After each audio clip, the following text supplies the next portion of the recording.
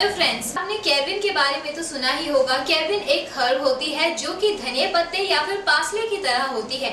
इसीलिए आज मैं आपको बताने वाली हूँ केविन के कुछ स्वास्थ्य और सौंदर्य को निखारने वाले नुस्खों के बारे में। दोस्तों, अगर आपको अपने खाने के अंदर अच्छे से अच्छी वैरायटी लानी है और खाने को फ्रेश भी दिखाना है तो आप केविन का इस्तेमाल कर सकते हैं। कई बार हमारे पास कोरिएंडर और पासले अवेलेबल नहीं होता है। इसीलिए आप चाहें तो आप केविन का कर सकते हैं। अगर पेट के अंदर कब्ज की या फिर एसिडिटी की प्रॉब्लम है तो केविन के पत्तियों को पीस कर थोड़े से शहद के साथ सेवन करने से ये कब्ज की प्रॉब्लम को काफ़ी हद तक दूर कर देता है। अगर आपकी पाचन क्रिया स्वस्थ नहीं है तो आपको केविन का इस्तेमाल अपने खाने में ज़रूर करना चाहिए। इसका फ्लेवर इतना स्ट्रॉन्ग होता है, जो आपके अच्छे से अच्छा टेस्ट भी देता है।